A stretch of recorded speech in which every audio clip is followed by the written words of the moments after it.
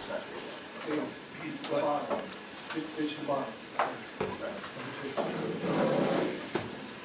First thing I'd like to do is welcome you here with a song. Uh, 9/11 doesn't have a lot of uh, publicly played music, uh, but there's an awful lot of it out there.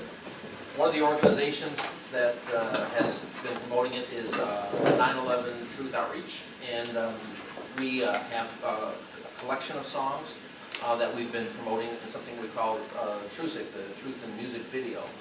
Um, This one, this one here is uh, not part of that collection, but it's one of my favorites, um, because music is what has inspired many people in the 60s to uh, become active and to get informed. And so this is a um, uh, uh, Sharon uh, Aberu, who uh, uh, will sing a song called Still Asking Why, and then we'll uh, launch into our program.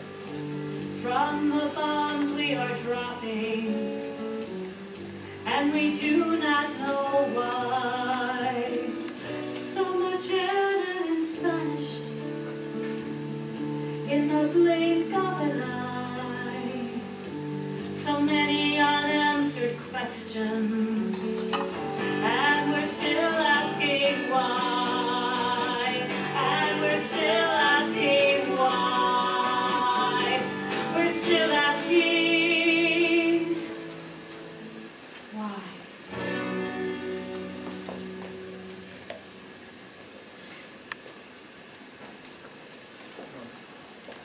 Great.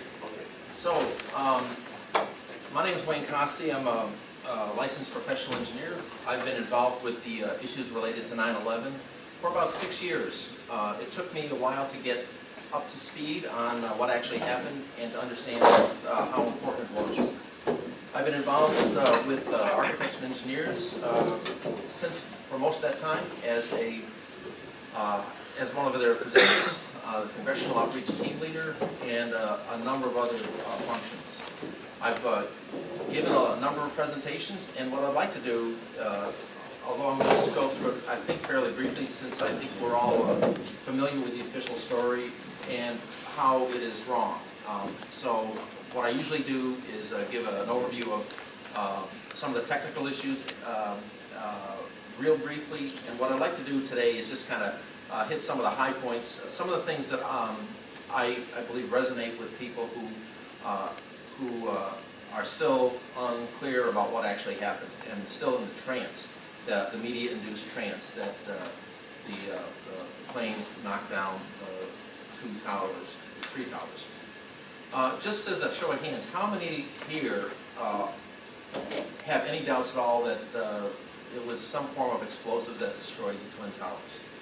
Is anyone, everyone here, okay, raise your hands if you think it was. Uh, Right, great. So, uh, for the most part, we had, we're all, we're on board with the fact that it was explosive. But I want to, because not everyone is uh, on board, I will uh, go through some of the high-level uh, issues related to it. Uh, And I will, I'm I'm really glad that uh, uh, we have some people who are still kind of questioning um, what we say and still, and still willing to come here and, and address this. So what, the first thing that we want to do is go through um, a side-by-side comparison of Building 7. Building 7 came down at 5:20 in the afternoon on September 11th. Uh, The building on the left is uh, uh, the 47-story uh, Building 7, and the- on the right-hand side it was a known controlled demolition. Dan Rather that evening said that uh, it was also reminiscent of of a, um, Excuse me, you said non-control or you said control Oh, it was- demolition, the one on the right? the one, the the one on the right was a known controlled demolition. No, N O W. Known, Right, known, yes. okay, I understood known. Right, yes. So, uh, we were show- showing it to show that they have very similar characteristics and that the buildings are in fact uh, coming down at what you call free fall acceleration. Uh, This was supposed to have been caused by a small fire in the corner of uh, uh, the building on flo- floor 13. A major study was done, fraudulent, uh, that uh, uh, tried to put together a model of how the building was failed. And you can see the entire steel structure bolted and welded into into place is just crumbling as if it was no more than a pile of Jenga blocks put together. We- They will not release their, their calculations to architects and engineers uh, because, in fact, uh, we believe it's fraudulent and is, and uh, they've been caught in uh, omissions of some key critical uh, factors. So the, the one on the, the right over here is a known controlled demolition, and I believe someplace in Italy, uh, building almost as big as the, um, build, uh, building seven. Uh, if you want to know what a gravity-only collapse looks like, uh, this is a French uh, technique called verinage, where they pull out the center line, we'll see this again. And notice the parts that are falling down, going down much faster than the roof line, which is the, which is a key when I go and talk about uh, the what happens to the Twin Towers. We're gonna see it again. Now, here what they do is they, they pull, um, uh, one of the, one of the, uh, uh, floors out of alignment, the top starts crushing down, and the thing that is to be, uh, seen here is the top's coming down, and there's material here that's falling much faster than, than, than the roof line is coming down. The roof line is going down at a slower rate because it has to do crushing work. It, uh, energy has to be uh, consumed, uh, breaking the building up instead of accelerating it down. When we get to the Twin Towers, we'll see that the the demolition is proceeding as faster, faster than free fall acceleration. People say that the, that the Twin Towers cannot be a controlled demolition because they always start at the bottom. Well, this one here started at, at the top, just to show that they can start any place. The key thing is, if you stop blowing up a building, it stops coming apart. We'll see what happens uh, uh, in a few minutes there. So this one here started in the middle. It looks an awful lot like what happened to the Twin Towers. Uh, People say that the Twin Towers were flimsily built. In fact, they were extremely robust. Uh, They were the pride of America uh, as they were being built. And the core column, which uh, supported uh, the two-thirds of the gravity weight of the building, and the perimeter columns supported a third of the gravity. But this is a huge matrix of, of uh, steel, huge steel uh, core columns that were uh, destroyed on 9/11. These perimeter columns are four tons, they're bolted and welded into place, and on September 11th, um, uh, during the demolition, they'll be bre- breaking the bolts, breaking the welds, and being ejected out at up to 70 miles an hour in all directions, uh, suggesting a huge amount of explosive energy uh, in the center, the core of the building. The, the, you can see the, the core columns here in the center. Uh,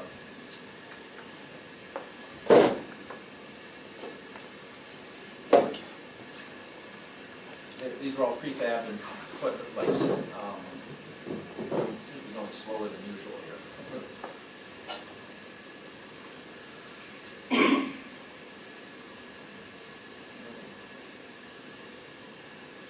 So it's a dense, it's a very dense, very strong uh, web, uh, starting off with a six, uh, six-inch thick uh, steel at the, at the base and uh, tapering down to much thinner uh, quarter-inch steel uh, uh, columns uh, at the, at the roof line. These floor pans are going to be put into, put into place. Uh, They're going to have four to six inches of concrete on top of them.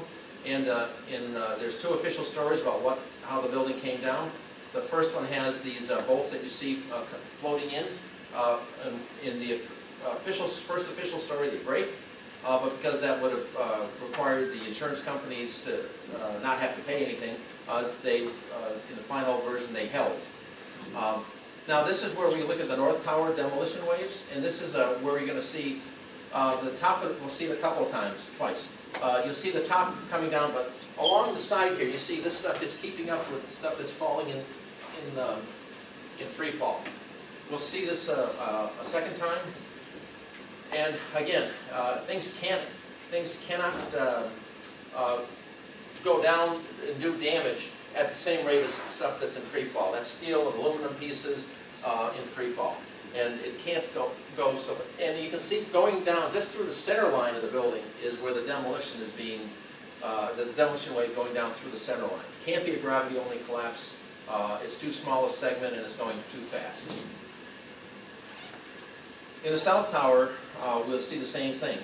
Uh, What you see here is that the demolition is coming down and, and uh, floor by floor by floor by floor. You can see it on this side, this side, and uh, a little bit on the other side from something ejected out. The steel and aluminum that's been ejected out here uh, is out in free fall and doesn't have time to come down and obscure the next level of demolition. So this demolition is proceeding as fast or faster than free fall acceleration at this, at this uh, uh, part of the building. Uh, It's absolutely incredible um, for this to be, uh, be happening, and explosives are the only thing that can be uh, causing it, and basically floor by floor by floor. Um, Not, not huge massive explosions, but uh, um, uh, a whole series of them.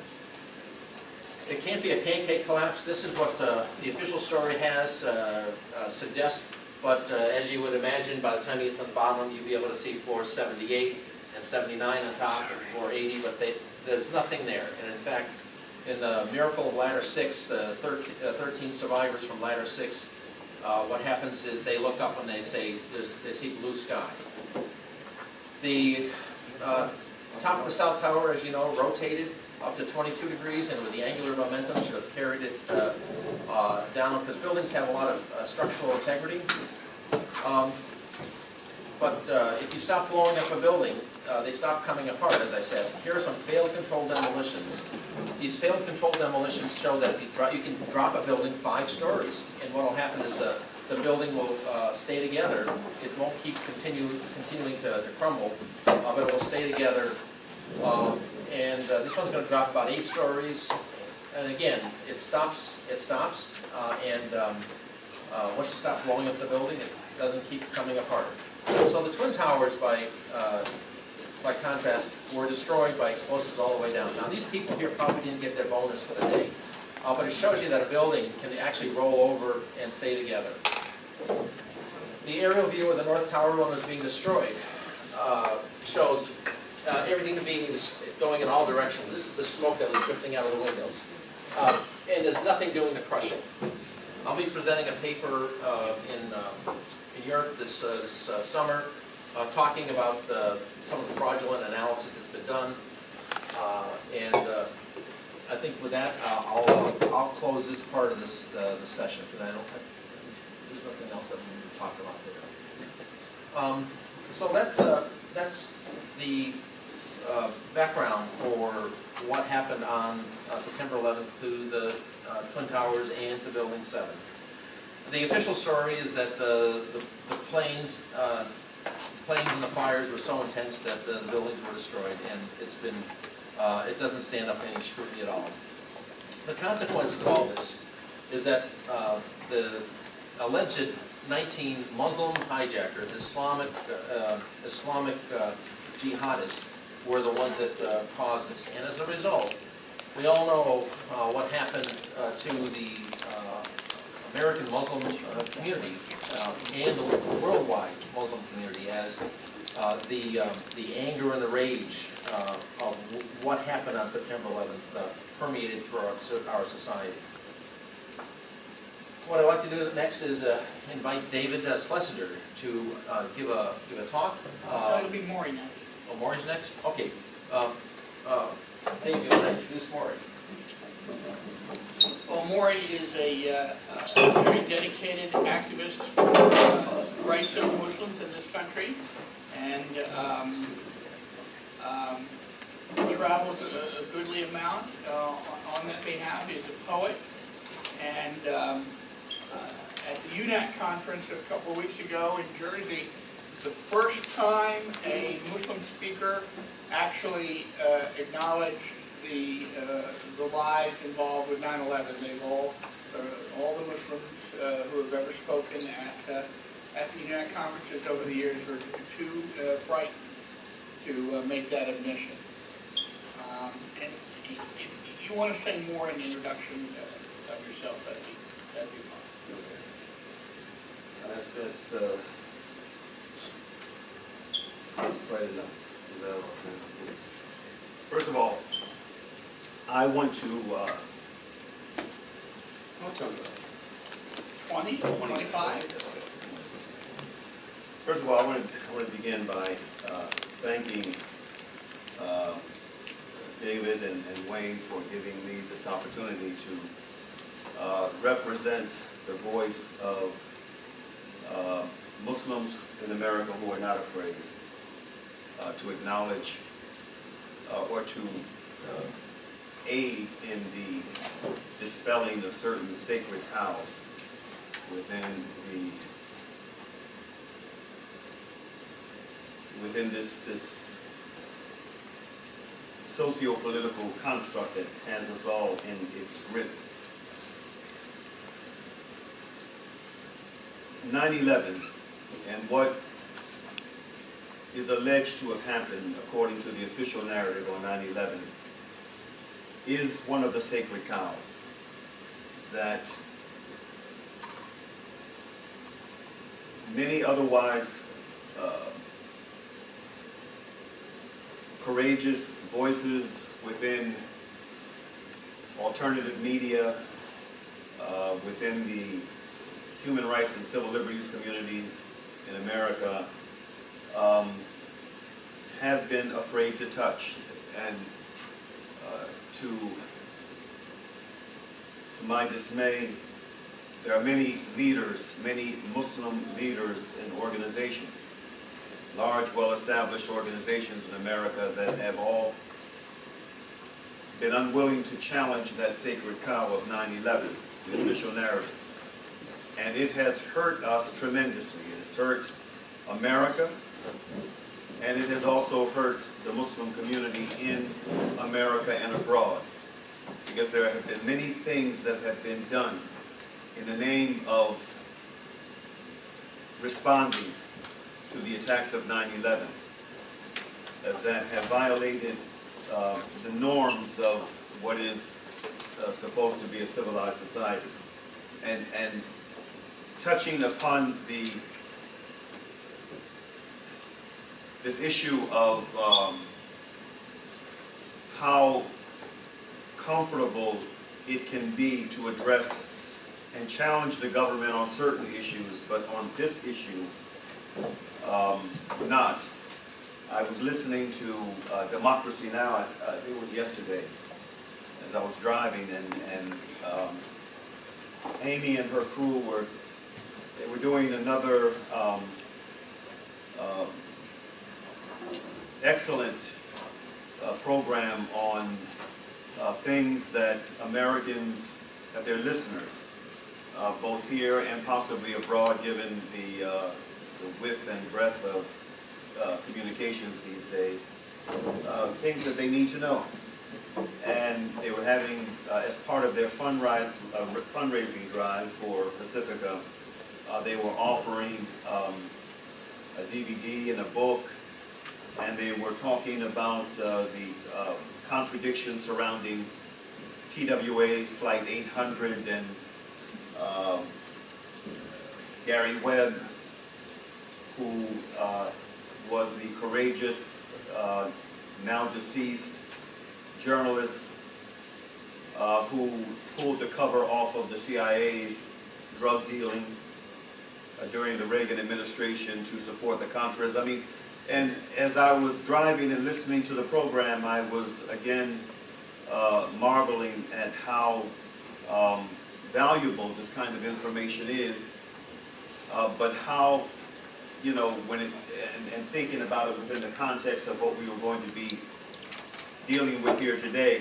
why this issue can't receive that same level of, uh, of courageous advocacy, journalistic advocacy, advocacy, uh, investigative prowess, or just willingness to, to speak out. I'll never forget years ago when one of the former producers of Pacifica, right here in New York at WBAI, contacted me uh, because he wanted to give me a copy of a tape, an audio tape, uh, of the government-paid agent provocateur that was involved in the World Trade Center bombing of 1993, the Egyptian Imad Salem. And so I received this call from the producer, um, and I don't think he's there at WBAI anymore, but, uh, you know, he had heard uh, some of the, uh, I think what, what he had, what had happened is I think he had, um, he had seen um, the presentation that we did at the National Press Club shortly within, within a month or two after the attack of 9/11. And I remember, I remember vividly how fearful um, the Muslim establishment in the Washington area was for us to broke, uh, broker that, that, that subject at the National Press Club because they knew my position. You know, I had made it very clear from day one uh, that I didn't believe the official narrative. And I'm not an engineer, but it just didn't sound right. It didn't make sense. Um, uh, and so we did this, uh, this, this conference at the National Press Club. And we had a number of respected figures within the um, African-American community. Um, in fact, only two of us that were part of that, I think it was about a seven-person panel. Only two of us were Muslim, and the rest were non-Muslims. A, a former, a 25-year veteran of the uh, national, uh, of the uh, police department. Then uh, he had uh, run. Um, uh, he had already retired, but he was the executive director then of the National Black Police Association. Uh, we had um, um, a professor from Howard University, uh, Nkechi, Nki- Nkechi Taifa, I believe her name is. Um, we had uh, Reverend Graylan Hagler, um, and a few others. It, it, it was a very, very um, uh, provocative discussion we had on 9/11 and the, and its aftermath. And again, this came within a month or two of the tragedy. Uh, and I, I, there's a, you can go to the, uh, uh, the archives of um, C-SPAN because they did cover it. And you can actually pull the video up. So anyway, he saw the video. And he ended up contacting me because we were the ones that had organized this uh, presentation. And he said he had something he wanted to send me, he wanted to give me. So he, uh, a few days later, I received in the mail this audio CD, and it was fascinating. I mean, this is, you know, the Egyptian agent provocateur, uh, former uh, colonel, I think he was, in the Egyptian military, who had been working for a number of years for the FBI. I think his uh, FBI handler, I think his name was Tom. And, you know, here he is, because of the uh, lack of trust that existed between him and his handlers, he felt that as an insurance policy, he needed to start taping some of their conversations. And in this one conversation of, of, of what was sent to me, here he is talking about the bombing of the World Trade Center. And how wonderful it was, how, how much, you know, and he's talking to his FBI handler. And, and, and he's, uh, they're, they're, you know, one of the prickly things that he's talking about is the need for more money, etc. and talking about the operation that had just taken place. And, and I, and I thought to myself then, I mean, when I received it, how many times has this been played over Pacifica Radio? They had possession of it. How many times has this been played? I, I, I never heard it. I'm sure that it was played at least once, but I never heard it. And um, it, it gets back to the whole issue of fear and how even folks and institutions, uh, organizations that normally would be courageous when it comes to certain issues, they can shy away from, you know, the sacred cows of the, you know, this, this political propagandistic machinery if the cow is big enough and terrifying enough. And that's what this 9-11 issue represents. Um, it, no, without question, it has been the basis of intensified war on a people that had nothing, even if the scenario of 9-11 was as they claimed it is.